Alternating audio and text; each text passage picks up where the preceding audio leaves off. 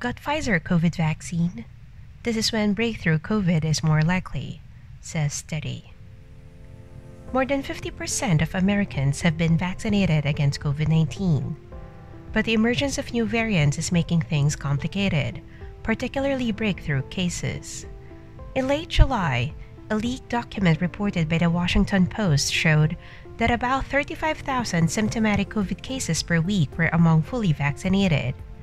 However, the data is yet to be confirmed by the US CDC.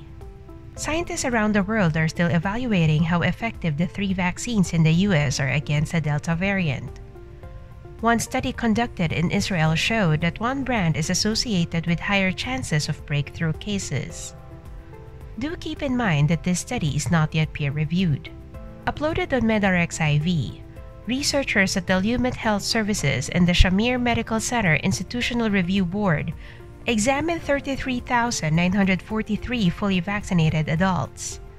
These individuals were given the Pfizer BioNTech vaccine. The adults were divided into three age groups 18 to 39 years, 40 to 59 years, and 60 years and older. They followed them for several months and tested for COVID 19 breakthrough infections. Findings showed that 1.8% of the patients had breakthrough cases, which tells the rarity of such infections. Yet the chances of testing positive for COVID 19, regardless of age, were higher in those who had their last dose more than five months ago. If a person is 60 years and older, the chances would be three times higher after five months have passed.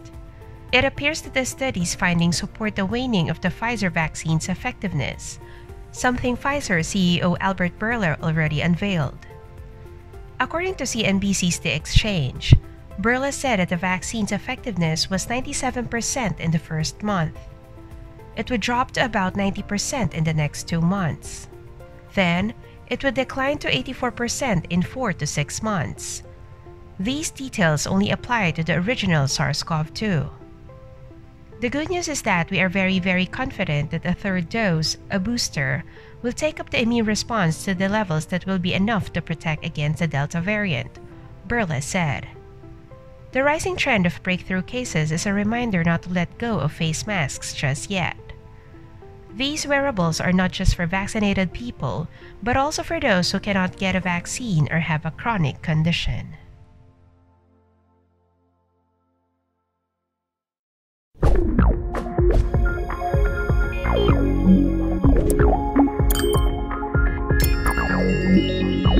You.